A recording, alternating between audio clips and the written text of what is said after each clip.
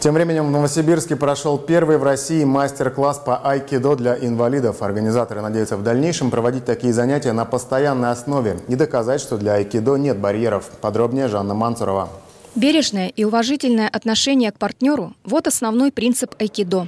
Важно не только повторить упражнения, но и расслабиться. Инвалиды-колясочники старательно копируют движения. Мастер-класс – это возможность освоить новую технику.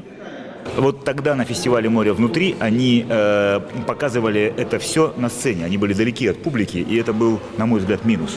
Вот. Сегодня все было гораздо ближе и гораздо познавательнее. Сегодня можно было повторить и повторить под руководством м, опытного человека, наставника. Да? Вот. И он поправит какие-то ошибки, недочеты, и это здорово. Арсений Барков занимается айкидо с четырех лет и уже не первый раз помогает инвалидам-колясочникам приемы самообороны. Раз они с людьми с ограниченными возможностями, а, они меньше передвигаются и а, им сложнее защищаться. И им надо а, научиться чему-то новому, чтобы, если что, защитить, защитить себя. Ведущий мастер-класса Сергей Субботин специально приехал из Казахстана, чтобы поделиться опытом.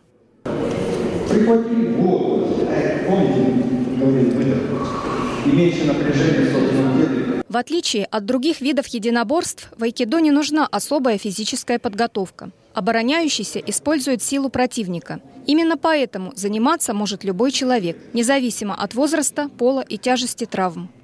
Нет, это абсолютно не тяжело. Это наоборот расслабление полное нужно, чтобы это применить.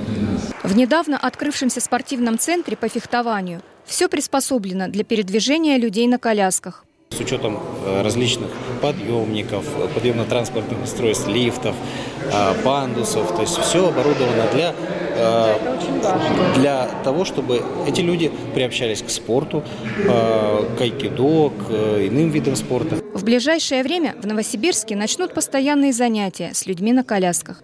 Жанна Мансурова, Алексей Погудин. Новости ОТС.